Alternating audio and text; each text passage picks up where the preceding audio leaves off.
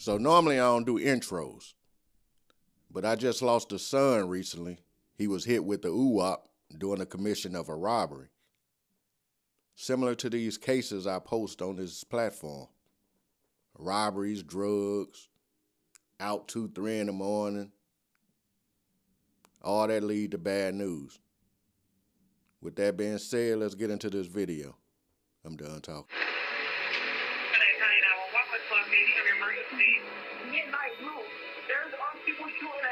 Coldness hands over the evidence to the DA's office. Christopher Parker, Kais, and O'Shea could all be responsible for Miko expiring. The round went in and out of Miko, so they're not sure who really hit Miko with the ooh-whop. So the Deputy Chief Assistant District Attorney speaks with Parker first, hoping to use him as a witness against Kais and O'Shea. Parker agreed to talk to him in exchange for a deal. He was facing life. So he starts by telling Parker, You're an armed security guard and you didn't check your rounds or even know the size of your clip. Parker says that's because he's not supposed to be armed. What the DA is doing is checking Parker's story against what they already know.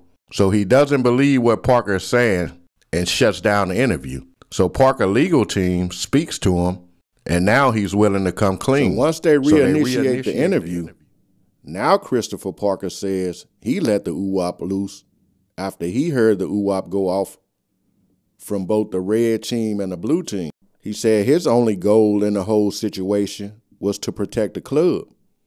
So he told everybody that wasn't involved to get down. So with that information, the DA offered Christopher Parker a 20-year deal for involuntary manslaughter. Christopher Parker accepts the deal. December 2020, the DA retired and the case was handed over to Chris Lewis, assistant DA. The first person he wants to talk to is Christopher Parker because Kais and O'Shea case was still pending. But Parker had a heart attack while in prison. With Parker being gone, any statement that he made was no longer allowed.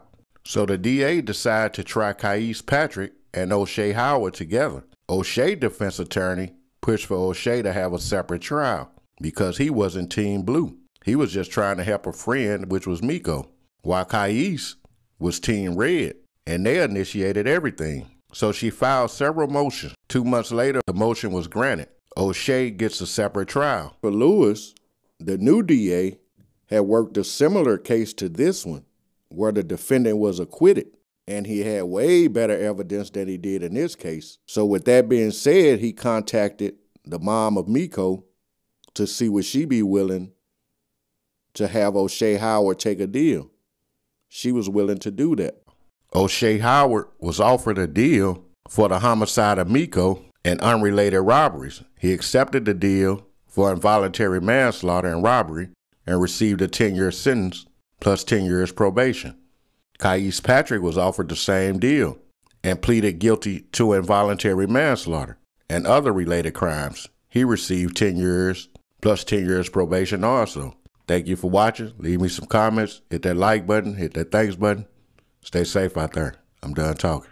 That there is such a large pull here.